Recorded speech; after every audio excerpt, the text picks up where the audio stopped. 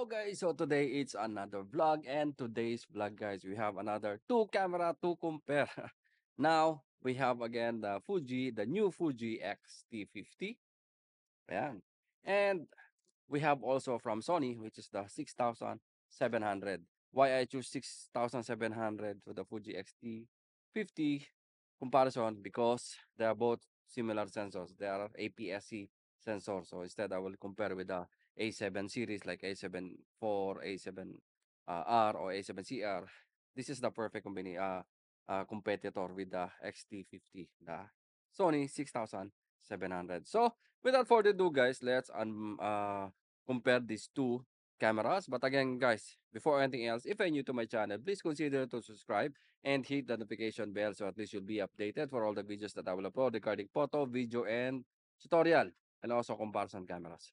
So let's start now guys. Again, the Fuji X-T50 announced last May 16, 2024, while the Sony 6700 announced last July 12 of 2023. Both camera is APS-C, 40, megap 40 megapixel for the X-T50 and 26 megapixel for the Sony 6700. So again guys, first, why why to consider choosing uh, Fujifilm X-T50 over the Sony 6700? First, again, the built-in flash. Ayan, you have already pop-up flash on this. Okay? Yeah, it's here. Oh, yeah. The built-in pop-up flash. You have built-in pop-up flash uh, for the X-T50 and uh, the XT, the Sony 6700, you don't have built-in pop-up flash. Uh, sensor resolution, again, this is 40 megapixel over 26 megapixel. Pixel. Uh, LCD resolution, this is the higher resolution, which is 1.840k. That's resolution compared for 1.040. That's of 6700. Uh, continuous shooting, uh, electronic is 20 um, frames per second, while 11 frames per seconds for the Sony 6700. Regarding maximum electronic shutter, again, 1 is to 180,000 electronic shutter, while 1 to 8,000 for the 6700 of Sony. Um, video resolution, this is already 6K compare for 4K, Ultra HD, uh, 3800. Yan. Uh, Again, you have 7-stop ISO sensitivity while 5-stop ISO on the 6700 of Sony. So again guys, first the megapixel uh, built-in pop-up flash. So electronics which is 1, 1 over 180,000. It's the best and 6K. Uh, okay, so reason to consider to purchase the 6700 over the uh, Fujifilm X-T50. First, you have uh, uh, auto framing yeah, it's uh it's a new uh style for focusing in Sony. Like yeah, it's a auto, it's AI, it's a auto framing. You have already auto framing on the 6700. Then uh there's no crop when you shoot 4K 60p. There's no crop on this, so it's full. Uh, view for maximum ISO is 32,000 ISO. Then uh, number of focusing points, you have 759 focusing point over 425 focusing point of XT50.